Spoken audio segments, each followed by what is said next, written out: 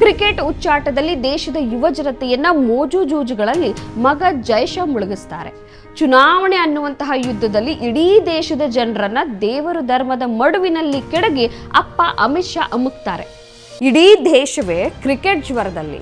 ಚುನಾವಣೆಯ ಕಾವಿನಲ್ಲಿ ಬೇಯ್ತಾ ಇದ್ರೆ ಅಪ್ಪ ಮಗ ಹಣ ಮತ್ತು ಅಧಿಕಾರದ ಬೆಳೆ ತೆಗೆದು ತಣ್ಣಗಿರ್ತಾರೆ ಸ್ನೇಹಿತರೆ, ನಮಸ್ಕಾರ.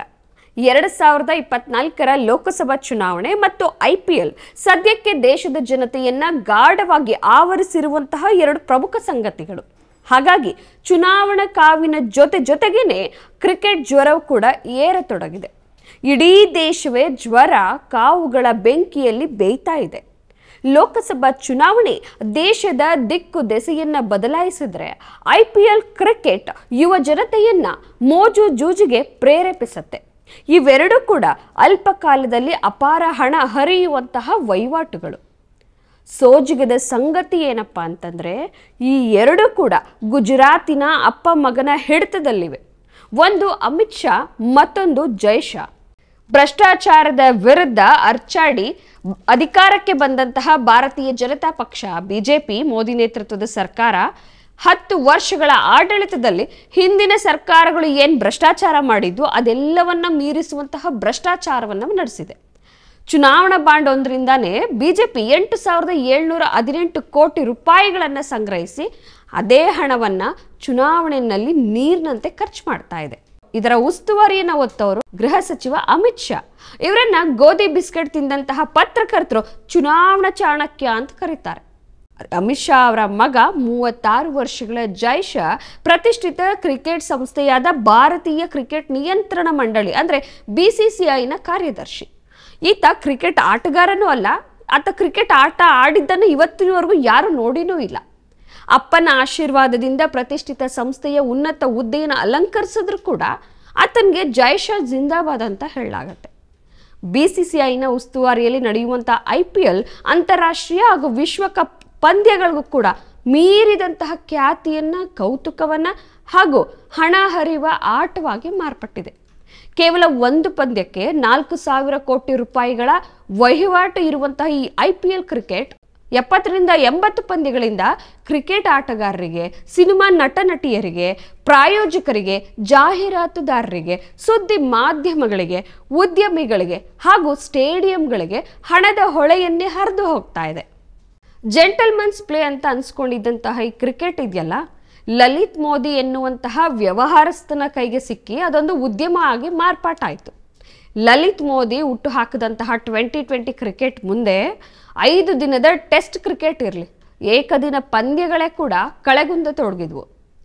ತಾಳ್ಮೆ, ಸಹನೆಯ ಆಟಕ್ಕೆ ವೇಗೋತ್ಕರ್ಷ ಬಂದು ರನ್ ಒಳೆಯನ್ನು ಅರಿಸಲು ಆಟಗಾರರು ಮಾದಕ ವಸ್ತುಗಳ ವ್ಯಸನಿಗಳಾಗಿ ಬದಲಾದ್ರು. ಆಟಗಾರರಿಗೆ ಬೆಲೆ ಬಂದು ಪ್ರತಿಯೊಂದು ಮನೆಯ ಮಗನಲ್ಲೂ ಕೂಡ ಇವತ್ತಿನ ಪೋಷಕರು ಧೋನಿಯನ್ನ, ಪಾಂಡ್ಯನನ್ನ, ವಿರಾಟ್ ಕೊಹ್ಲಿಯನ್ನ ಕಾಣತೊಡಗಿದ್ರು. ಕ್ರಿಕೆಟ್ ಸಂಬಂಧಿ ವಸ್ತುಗಳ ಉತ್ಪಾದನೆ, ಜಾಹೀರಾತು ಹಾಗೂ ಅದಕ್ಕೆ ಸಂಬಂಧಪಟ್ಟಂತಹ ಮಾರುಕಟ್ಟೆ ತೀವ್ರಗತಿಯಲ್ಲಿ ವೃದ್ಧಿಸತೊಡಗಿತು ವರ್ಷದಿಂದ ವರ್ಷಕ್ಕೆ ಬೆಳೆಯುತ್ತಾ ಹೋದಂತಹ ಐ ಪಿ ಎಲ್ ಬೃಹತ್ ವ್ಯಾಪಾರ ವಹಿವಾಟುಳ್ಳಂತಹ ಉದ್ಯಮವಾಗಿ ಈಗ ಇಡೀ ವಿಶ್ವವನ್ನೇ ಅದು ವ್ಯಾಪಿಸ್ಕೊಂಡು ಬಿಟ್ಟಿದೆ ಕ್ರಿಕೆಟ್ ಪ್ರೇಮಿಗಳಿಗೆ ಐ ಪಿ ಎಲ್ ಭರಪೂರ ಮನರಂಜನೆಯನ್ನು ನೀಡುವಂತಹ ಒಂದು ಆಟ. ಅದೇ ಕ್ರಿಕೆಟ್ನ ಪ್ರತಿ ಬಾಲ್ ಮತ್ತು ರನ್ ಮೇಲೆ ಹಣ ಕಟ್ಟುವವರಿಗೆ ಕೂತಲ್ಲೇ ಕಾಸನ್ನು ಎಣಿಸುವಂತಹ ಜೂಜಾಟ.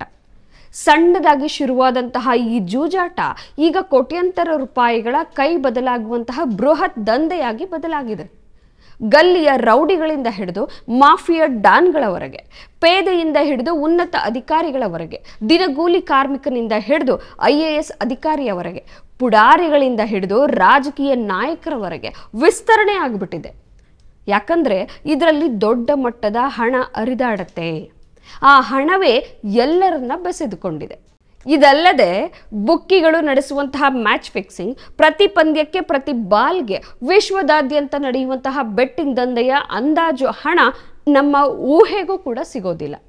ದುರದೃಷ್ಟಕರ ಸಂಗತಿ ಏನಂದ್ರೆ, ಈ ಕೋಟ್ಯಾಂತರ ರೂಪಾಯಿಗಳ ಜೂಜಾಟದ ಜಾಲದಲ್ಲಿ ಯುವಕರು, ಕಾಲೇಜು ವಿದ್ಯಾರ್ಥಿಗಳು, ನಿರುದ್ಯೋಗಿಗಳು ಆರ್ಥಿಕವಾಗಿ ಹಿಂದುಳಿದವರು, ದಿನಗೂಲಿ ಕಾರ್ಮಿಕರು. ನಗರಗಳಲ್ಲಿ ಜೀವನೋಪಾಯಕ್ಕಾಗಿ ಕೆಲಸ ಮಾಡ್ತಾ ಇರೋರು ಹೆಚ್ಚಿನ ಸಂಖ್ಯೆಯಲ್ಲಿ ಬಲಿಯಾಗ್ತಾ ಇದ್ದಾರೆ. ಈ ಜೂಜಾಟ ಮೊದಮೊದಲು ನಗರ ಪಟ್ಟಣಗಳಲ್ಲಿತ್ತು. ಈಗ ಪ್ರತಿಯೊಬ್ಬರ ಕೈನಲ್ಲೂ ಕೂಡ ಮೊಬೈಲ್ ಬಂದಿರೋದ್ರಿಂದ ಹಳ್ಳಿ ಹಳ್ಳಿಗೂ ಕೂಡ ಈ ಬೆಟ್ಟಿಂಗ್ ದಂಧೆ ಹಬ್ಬಿಬಿಟ್ಟಿದೆ ಪ್ರತಿ ಬಾರಿಯೂ ಐ ಪಿ ಎಲ್ನಲ್ಲಿ ಕೋಟಿಗಟ್ಟಲೆ ಬೆಟ್ಟಿಂಗ್ ವ್ಯವಹಾರ ನಡೀತಾನೆ ಇರುತ್ತೆ. ಹಾಗೆಯೇ ಸಾವಿರಾರು ಕುಟುಂಬಗಳು ಮನೆ ಮಠವನ್ನು ಕಳ್ಕೊಂಡು ಬೀದಿಗೆ ಬೀಳ್ತಾ ಇದ್ದಾವೆ. ಇಂತಹ ಕ್ರಿಕೆಟ್ ಉಸ್ತುವಾರಿ ಮಗನದ್ದು. ದೇಶದ ದಿಕ್ಕನ್ನು ಬದಲಾಯಿಸುವ ಚುನಾವಣಾ ಜವಾಬ್ದಾರಿ ಅಪ್ಪನದ್ದು. ಅದರಲ್ಲೂ ಹಣ, ಇದರಲ್ಲೂ ಹಣ. ಕ್ರಿಕೆಟ್ ಉಚ್ಚಾಟದಲ್ಲಿ ದೇಶದ ಯುವ ಜನತೆಯನ್ನ ಮೋಜು ಜೂಜುಗಳಲ್ಲಿ ಮಗ ಜೈಶ ಮುಳುಗಿಸ್ತಾರೆ.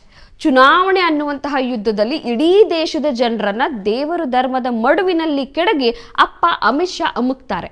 ಆ ಕಡೆ ಅಪ್ಪ, ಈ ಕಡೆ ಮಗ ಇಬ್ರು ಒಂದೇ ಸಮಯದಲ್ಲಿ ದೇಶದ ಜನರ ಕಣ್ಣಿಗೆ ಮಣ್ಣೆರ್ಚ್ತಾ ಇದ್ದಾರೆ. ಇಡೀ ದೇಶವೇ ಕ್ರಿಕೆಟ್ ಜ್ವರದಲ್ಲಿ ಚುನಾವಣೆಯ ಕಾವುನಲ್ಲಿ ಬೇಯ್ತಾ ಇದ್ರೆ ಅಪ್ಪ ಮತ್ತು ಮಗ ಹಣ ಮತ್ತು ಅಧಿಕಾರದ ಬೆಳೆಯನ್ನ ತೆಗಿತಾರೆ. ದೇಶದ ಜನ ಮೋಜು ಜೂಜುಗಳಲ್ಲಿ ಹಾಗೂ ದೇವರು ಧರ್ಮಗಳ ಮತಾಂಧತೆಗಳಲ್ಲಿ ಸಿಲುಕಿ ಮೋಸ ಹೋಗ್ತಾನೆ ಇರ್ತಾರೆ. ಇದು ಇವತ್ತಿನ ಭಾರತ. ಹೀಗೆ ಕಂಡವರ ಮಕ್ಕಳನ್ನ ಬಾವಿಗೆ ತಳ್ಳಿ ಆಳ ನೋಡುವವರ ಬಗ್ಗೆ ಯುವಜನತೆ ಹಾಗೂ ಈ ದೇಶದ ಮತದಾರರು ಎಚ್ಚರಿಕೆಯನ್ನು ವಹಿಸುವಂತಹ ಕಾಲ ಈಗ ಬಂದಿದೆ. ಆಟವನ್ನ ಆಟವಾಗಿ ಮನರಂಜನೆಗಾಗಿ ಅಷ್ಟೇ ನೋಡಿಕೊಂಡು ಮೋಜಿನ ಜೂಜಿನಿಂದ ದೂರ ಉಳಿಬೇಕು. ಅದೇ ರೀತಿ ಸುಳ್ಳು ಭರವಸೆಗಳಿಂದ ಅಧಿಕಾರಕ್ಕೆ ಬಂದು ನಿರಂತರವಾಗಿ ಭ್ರಷ್ಟಾಚಾರದಲ್ಲಿ ಮುಳುಗಿ ಈ ದೇಶದ ಮತದಾರರಿಗೆ ಕಂಟಕ ಆಗಿರೋರನ್ನ ಸ್ಪಷ್ಟ ಮತ್ತು ದಿಟ್ಟ ನಿಲುವಿನಿಂದ ಮತದಾರರೇ ದೂರ ಇಡಬೇಕು. ಈ ಮೂಲಕ ಪ್ರಜಾಪ್ರಭುತ್ವದ ನೆಲದಲ್ಲಿ ಪ್ರಜೆಗಳು ತಮ್ಮ ಇಚ್ಛಾಶಕ್ತಿಯನ್ನು ತೋರಿ ಮೇಲುಗೈ ಸಾಧಿಸಬೇಕು. ಇದು ನಿಮ್ಮ ಸಮಯ. ಏನು ಮಾಡ್ತೀರಿ? ಯೋಚನೆ ಮಾಡಿ. ನಾನು ಹೇಳ್ತಾ ಇರೋದು ನಿಮಗೆ ಸರಿ ಅನ್ಸಿದ್ರೆ ಕಮೆಂಟ್ ಬಾಕ್ಸ್ನಲ್ಲಿ ತಿಳಿಸಿ. ಈ ವಿಡಿಯೋವನ್ನು ಹೆಚ್ಚಿನ ಜನರಿಗೆ ಶೇರ್ ಮಾಡಿಕೊಳ್ಳಿ. ಮತ್ತಷ್ಟು ವಿಶೇಷ ವಿಡಿಯೋಗಳನ್ನು ನೋಡಲು ಮತ್ತು ಹೊಸ ವಿಡಿಯೋಗಳ ಬಗ್ಗೆ ತಿಳಿಯಲು Ee Dina dot com YouTube channel subscribe ಮಾಡಿ ಮತ್ತು ಬೆಲ್ ಐಕಾನ್ ಕ್ಲಿಕ್ ಮಾಡಿ.